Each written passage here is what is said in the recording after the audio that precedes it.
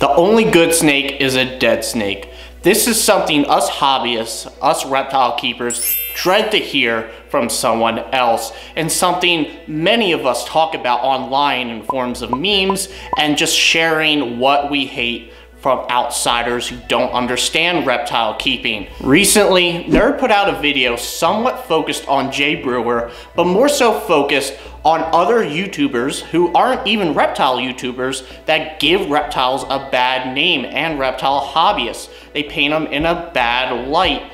Now, when watching this, if you've seen it, the first question that probably popped into your mind is how is this allowed on YouTube? And this led to Donnie, who composed a video, he's from Nerd, saying this. I want to say something. YouTube does not take these videos down because because they're either um, because because guys remember reptiles are not considered pets. They're not really loved animals to most of the world. I know you guys love them, but guys, legit, they, they're not. Is this how truly people view reptiles? They don't care about them being abused, even if they're not a typical pet, just as an animal. This led me to investigate the phrase, the only good snake is a dead snake, because I really wanted to see how popular this mindset is outside of the hobby? Do people really know that phrase? Do people really say it? Do people really believe that reptiles aren't a pet, shouldn't be a pet, and deserve being abused? So we're investigating that. We're gonna look at a survey three Mondays in a row doing some sort of research. So let's get to it, guys. Hope you're doing well. Let's do some research. Hey guys, how's it going? You know, it's the beginning of a new year. Oh, we completely bald. Yellow Aki, reptile.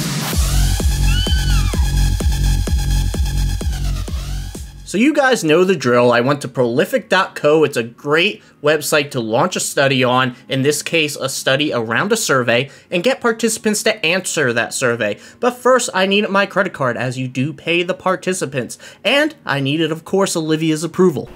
Hey, Olivia. No. With her approval well in hand, I went ahead and launched two surveys.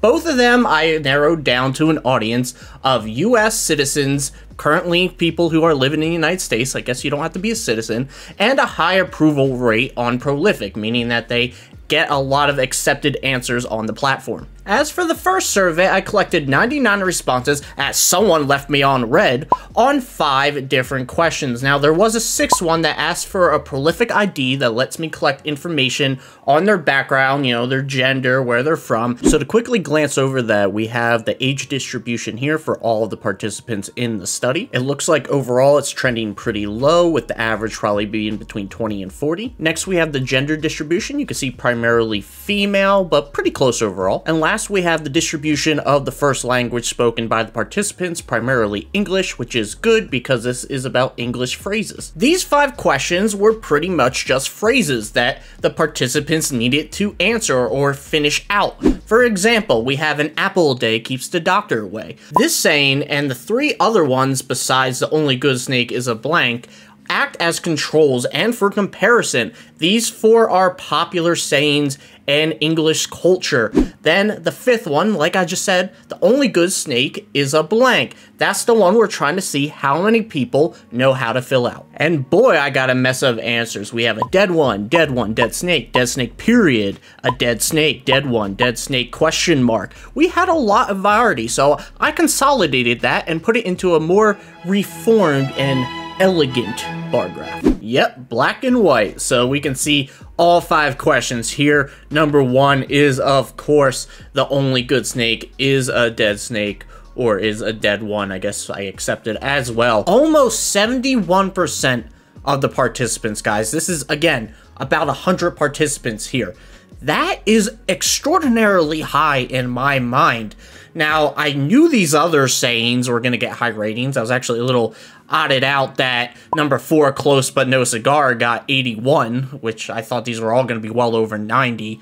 But for 71% for this, the only good snake is a dead snake, that's high. I feel like that's really close. That's in the ballpark of these other phrases here, which is kind of crazy to me. I did not think this was that well understood or said or talked about, and it's a little scary. Still, I hungered for more answers, and nothing would stop me from getting them. Olivia, please. No. Ah.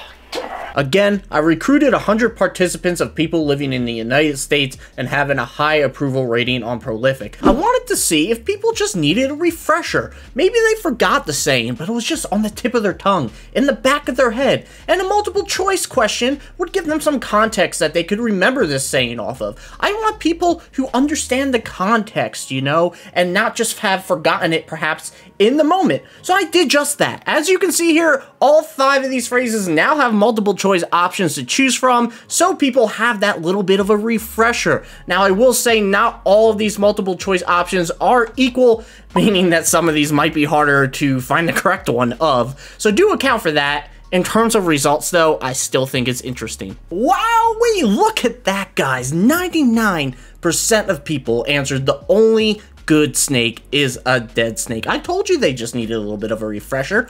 And look at questions 4 and 5. Granted, their multiple choice options were definitely a little bit harder. I mean, actions speak louder than words versus then words, but still, this is crazy that people really know this phrase. But guys, even after all those great answers, I still had an answer I needed to get. And Olivia, she's asleep by this point, so I could spend the money however I want. You guys remember this survey? Yeah, the one I did on Jay Prehistoric Pets, Jay Brewer.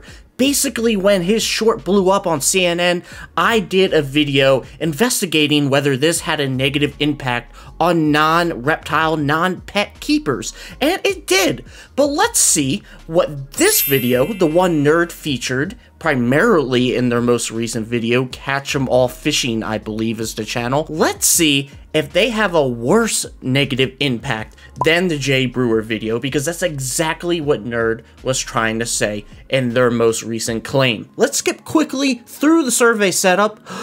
I asked 50 participants without reptile keeping experience and high ratio of accepted answers on the platform Prolific to take an 11 question survey. Questions 1 through 3 and 5 asked basically the life experiences of the participant, while question 4 asked whether they believe people should be able to keep reptiles as pets. Now here's the change. I asked people to watch a portion of the Catch 'em All video that was heavily featured in Nerd's video this past weekend. Participants were then asked how entertaining the video was, if the content is suitable for children, how strongly they believe people should be allowed to keep reptiles after watching the video, if they were planted the snake in the video, how strongly they believe people should be allowed to keep pets after watching the video. Does this video make it more or less likely to keep a pet reptile? How does this video make you feel about reptiles? Also the question, do you think the video showed responsible reptile keeping is removed because this is not about reptile keeping? Now onto the juicy stuff, the results. You guys remember this graph? This is from the Jay Prehistoric Pets video that I mentioned earlier, showing pre and post video the mean of how strongly participants believe people should be allowed to keep reptiles as pets. You can see there is a drop, almost a full point drop, but how does that compare now to this other video from Catch 'em All Fishing. Well, you can see the pre-video average is roughly the same, but the post-video is over a full point more of a drop. Better yet, for the new question of if this snake was planted, how strongly do you believe people should be allowed to keep reptiles as pets after watching this video, the drop is even more significant. It's at 2.76 now. Do remember, this snake being planted is a claim that Nerd made, so this is important to investigate. Alright, alright, you guys know I need to look into the people who have no reptile life experience, never cared for one, no friends who have ever owned one, never watched a reptile YouTuber. Again, here's our reminder graph from the Jay Prehistoric Pets video, showing the pre and post video averages from participants showing how strongly they believe people should be allowed to keep reptiles as pets, but in this case they have zero reptile experience observation, and you can see there's much more of a significant drop than compared to the overall everyone in the survey. Well guess what guys, this drop is even more significant for the participants who've watched the Catch 'em All fishing video instead of the Jay Prehistoric Pets video. Yes, the pre-video average is much lower, about over a full point lower, than the one for the Jay Prehistoric Pet survey, but still, overall, that post-video average, that is so much less, even with the drop in the pre-video average. And oddly enough, looking at this new question of if the snake was planted, how strongly do the participants believe people should be allowed to keep reptiles as pets, the post value actually increases with people who have zero reptile experience.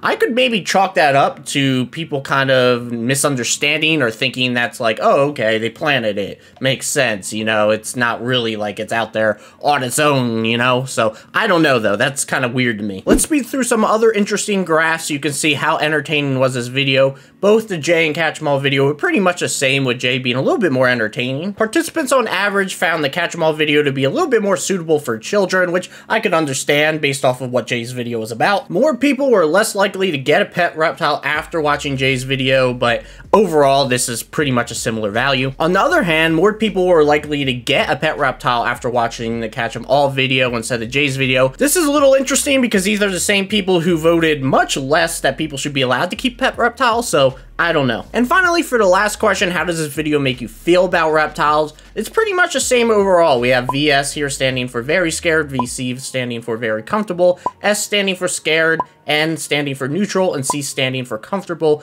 pretty much the same like I just said. The only real difference is there's a little bit more of the scared for Jay's video than for Catch 'em All, but it's pretty much on par with each other. Well, this was quite the investigation, guys. I mean, I put a lot of work into this one, so I'd really appreciate it. If you haven't subscribed yet, definitely subscribe and leave a comment below. Those really help out too. But I was really surprised by a lot of the outcomes. I didn't know how well known the phrase the only good snake is a dead snake is. And honestly, I didn't really think there's gonna be that much of a difference between Jay's video and Catch 'em All Fishing, I think that's the channel's name, video. I didn't really think there was gonna be that much. So I'm happy I investigated this. I'm happy we got some actual evidence and I appreciate you guys sticking all the way through. Before I go, I wanna let you guys know that you could get $5 off your first purchase of Reptilinks by using code Professor Herp at checkout. I use Reptilinks exclusively for my tegu, but you could also use them for hognose snakes, blue tongue skinks, and more. Definitely recommend them. $5 off your first purchase with code Professor Herp at checkout. Thanks for watching, guys. I appreciate it, and I'll see you in the next video.